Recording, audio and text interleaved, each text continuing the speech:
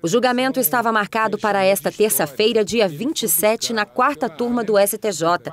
O pedido para adiar a data partiu dos herdeiros da família imperial brasileira. Há 123 anos, a família Orleans e Bragança alega na justiça que o governo brasileiro não a indenizou pela tomada do palácio após a proclamação da República.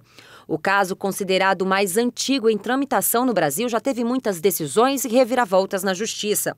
O processo chegou a ser encerrado na década de 60 e posteriormente reaberto. O que se discute é se o Palácio Guanabara, antiga residência da família real e atual sede oficial do governo do Rio de Janeiro, estava incluído entre os bens privados da família imperial ou se era bem público destinado apenas à moradia, finalidade que teria perdido com a queda da monarquia.